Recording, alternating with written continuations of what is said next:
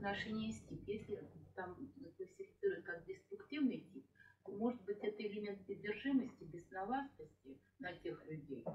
То есть и также и в науке, паранаука, парамедицина и другие такие деструктивные вещи. И в музыке. Ну, я думаю, что да, кстати, музыка там он приводит, э, приводит пример э, S-типа, это э, так называемая бесконечная мелодия. Вот если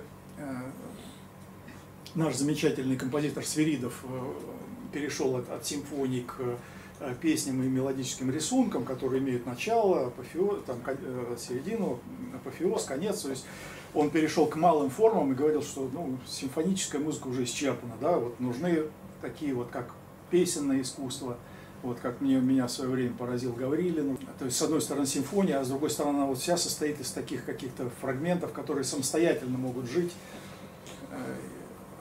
Да, и вот в музыке, музыке тоже э, вот эта бесконечная мелодия, которую, ну, где оборвешь, там оборвешь, она может продолжаться бесконечно, как вот, знаете, э, музыка релакс такая. Э, ты под нее можешь заснуть, но это уже даже и не музыка. Да? Или там рэп – это не, не музыка и не стихи, это вообще ничто, то есть нет формы.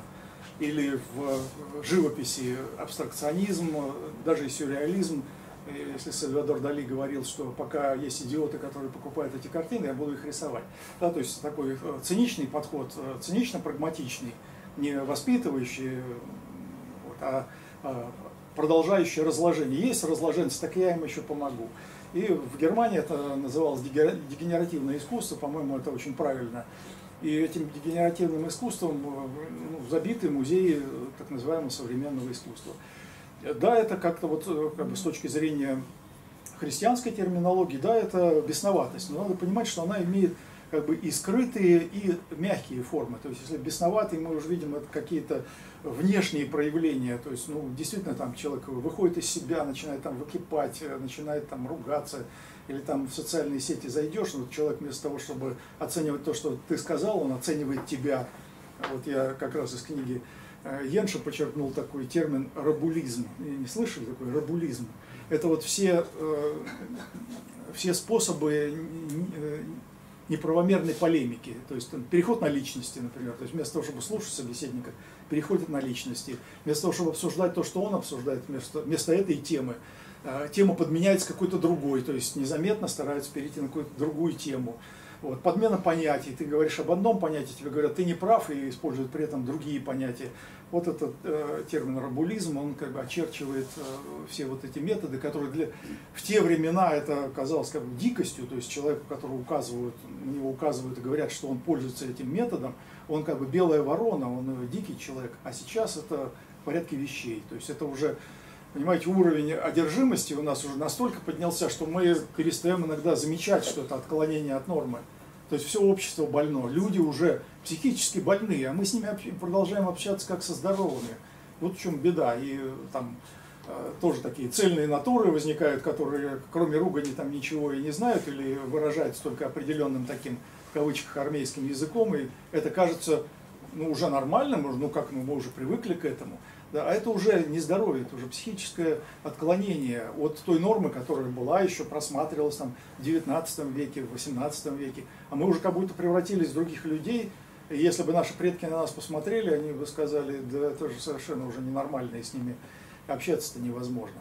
Определением одержимости есть, есть проблема. То есть, с одной стороны, наши собственные бесы мешают, мешают этому определению, а с другой стороны, вот эти мягкие, уже незаметные, привычные формы ну, как бы все общество одержимо бесами, поэтому то, что у каждого есть свои собственные бесы, это, ну, это Сейчас печаль... это называется газлайтинг. Газлайтинг, вот эти бытовые формы, mm-hmm. это называется современный термин, потому что э, понятие рабулизма это специфическое такое, научное, да, да, да, для узкой среды. Но для нас это, для нас это уже, уже норма, норма, к сожалению.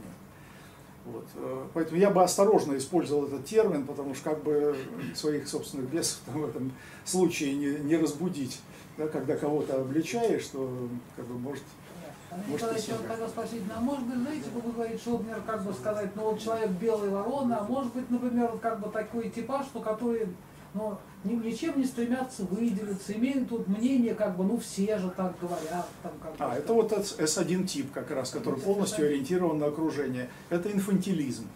Это, ну, есть даже такие крупные государственные деятели у нас, которые я вот э, в Думе там видел э, человека, когда ему было лет 40, прошло там 20 лет, э, и он, он все такой же инфантил, а руководит там огромными ну, финансово, финансовыми системами, и уже не только финансовыми. То есть это инфантилизм. И в детстве это нормально, когда человек ориентируется на окружение, а вот когда взрослый человек, э, вот такой с гибкой спиной, отсутствие, с отсутствием своего собственной, своей собственной линии или, или с, э, с как бы избранной такой позицией, что позиции как таковой не существует. Я меняюсь в зависимости от того, как мне выгодно, как мне кажется. Вот я, реальность меня не интересует, я сам создаю свою реальность. Да, так, так, так называемые экосистемы. Вот мы мы создали какой-то экономический, какую-то экономическую структуру, а вокруг, вокруг нее еще обволакиваем экосистемой. Создается такая модель экономики, замкнутая вот э, в этом конгломерате. И им кажется, что они в этом эффективны, но эффективны пока э, конкуренция отсутствует, вот они эффективны, как пока олигархическое правление. А так-то они из себя мало чего представляют, эти вот S1 типы.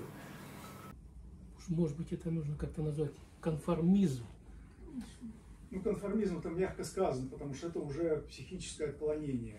То есть это может быть еще не болезнь, а может уже и болезнь. Что у человека нет, он не может занять своей позиции, как, э, и на эту позицию влиять все что угодно. Он поговорил с президентом, у него уже другая позиция. Или э, ему там съездил в Google, ему показали там это все эти марксизм. системы управления. Да? Это уже марксизм. Ну как, поговорить не с кем, кроме как с президентом. Поговорил с президентом, ну вот все, все сразу стало ясно. Он говорит, как вот все. Или сегодня, по-моему, я даже видел один банкир, сказал, как же вы это... Я был в, этом, в Лондоне, и там, значит, жила такая Маргарет Тэтчер. Так вот она, она, ну вы прямо вот один в один, это она директор Центробанка. Вот, ну, как бы такая похвала директору Центробанка. А человек руководит одним из крупнейших банков. Я думаю, ну вообще, на что это похоже?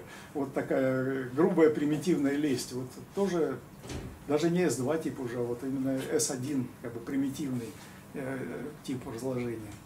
А вот Фрэнсис Фукуяма писал, что современные психотропные аппарат, препараты плохо влияют на психику и заставляют людей изменяться, как мутировать. Вы говорили, что Ленин страдал сифилисом, от этого у него были репрессии, он проводил негативную политику на людей.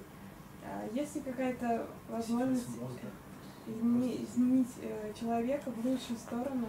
Что вы думаете, могло быть защитный механизм для этого? Ну, как раз вот Йенш пишет о системах питания. Э, он пишет о том, что а, э, современный город, то есть условия современного города, ну в его время это уже промышленные, большие промышленные центры, и э, современные ему системы питания, особенно там э, задевает французскую систему питания, что они как раз вот ведут к этим болезненным состояниям, как бы искажают биологическую основу человека и из чего потом проистекают различные болезни. Конечно, там представить себе, что есть такая таблетка, там проглотил и сразу вылечился от э, всех пороков века всего, абсолютно невозможно. Это как раз у них есть, вот у этих астипов, у них есть такое представление, что они рано или поздно э, изобретут универсальную таблетку, проглотят и будут бессмертными и вечно молодыми и здоровыми. Вот. Э, кроме как система воспитания, я других вариантов пока даже ну, не, могу себе представить. Да, есть, э, есть химические способы, которые там э, устраняют болезни, но мы до конца не можем знать э, отдаленные последствия, поэтому лечить психику с помощью таблеток можно только в очень острых случаях, а в остальных случаях ну, как бы изменением окружающей среды, соответствующим воспитанием, изменением систем питания и так далее. Вот Э, в этой сфере можно как-то продвинуться, а так, э, пока мы вот не выйдем из этой э, химизации медицины, наверное, других способов трудно предложить.